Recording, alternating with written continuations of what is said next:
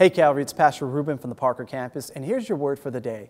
As followers of Jesus, we face the challenges of life every single day. Sometimes it feels like it's coming from all sides.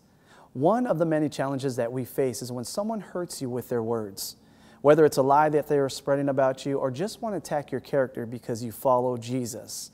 So, how do you respond when others hurt you or, or even attack you with their words?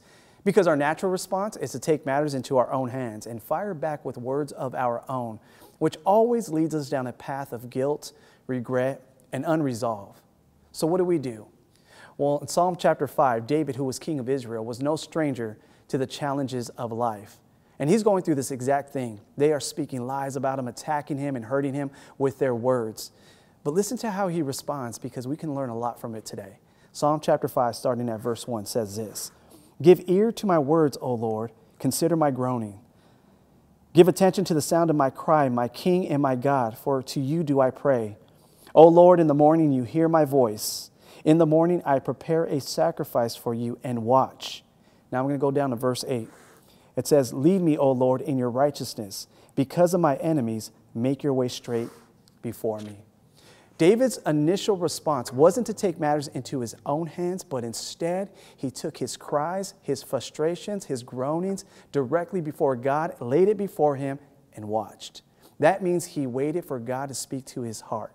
And instead of reacting to the hurtful words that would lead anyone to a path of regret uh, and guilt, he said, Lead me, O Lord, in your righteousness. Because of my enemies, make your way straight before me. Give me the direction and guidance that I need so that I don't respond like the old me and lose myself in the process. When you have been hurt by the words of others, have you been quick to react and fire back with words of your own? Whether it's in person, a text message, or on social media? And has it led you down a path of more hurt, pain, regret, and unresolved? And maybe, just maybe, you lost yourself in the process. Well, can I remind you today that the next time that that happens, do what David did. Bring all of your hurts, your frustrations before God, lay it down before Him, and wait. Wait for Him to speak to your heart, to give you guidance in the direction that you need as you let Him lead you in His righteousness. So that you don't respond like the old you, and so that you don't lose your joy, and so that you don't forget who you are in Christ Jesus. And instead, start rejoicing Rejoice, knowing that you are a child of God and that the battle belongs to Him and not us. Remembering that He is our protector, our refuge, and our shield.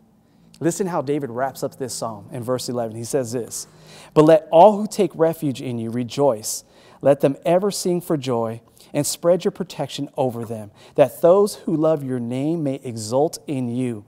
For you bless the righteous, O Lord. You cover him with favor as with a shield. So let's let David's plea be our prayer today. Lord, lead me in your righteousness. Because of my enemies, make your way straight before me. God bless you and have a wonderful day.